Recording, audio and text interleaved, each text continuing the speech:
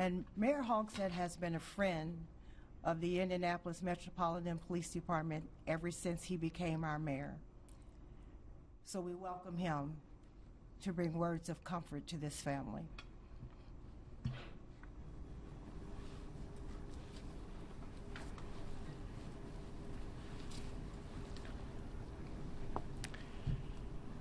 It was 2017, just a week before Christmas. A cold wind was whipping through the east side.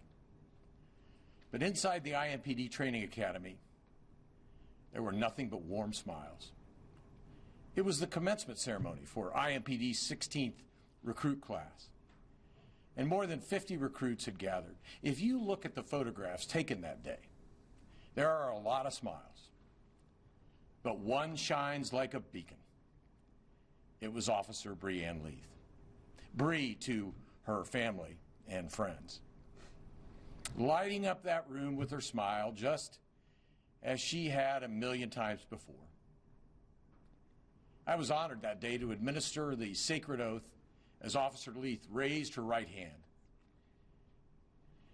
Last Thursday, our community's heart was broken as she fulfilled her promise to a grateful city, an oath to protect and serve, a promise that no matter what, she would always answer the call and run toward the harm, knowing that if she did not, harm may come to others. My prayers go out to Bree's family and friends.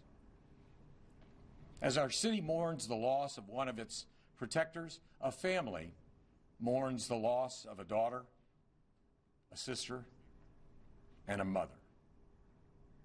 Likewise, my prayers go out to Officer Leath's other family, the brave men and women of the Indianapolis Metropolitan Police Department, who today honor a treasured colleague and friend.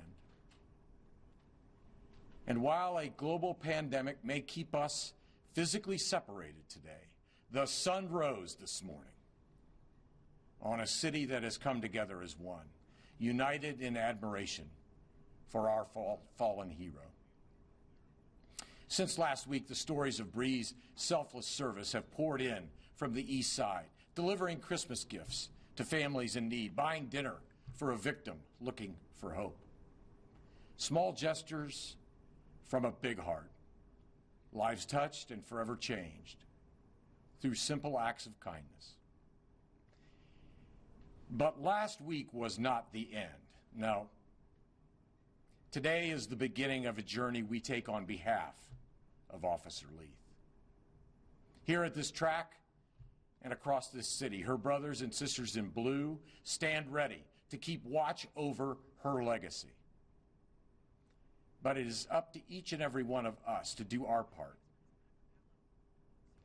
Where she may have fed those who were hungry, now we must provide the meal. Where she may have soothed the suffering soul and stopped violence before it began, now we must do the same.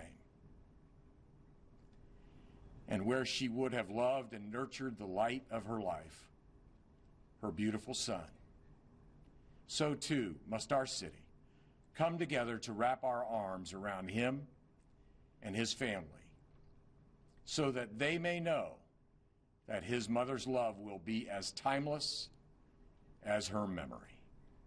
If we do these things as one city, if we follow the path Officer Leath blazed toward peace and providence, we will not just honor this truly heroic woman, but we may bring to fruition the seeds of peace that she planted throughout her life.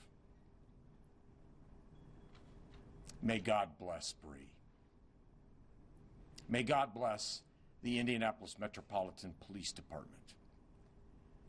And may our gracious and loving God forever bless the city of Indianapolis. Amen.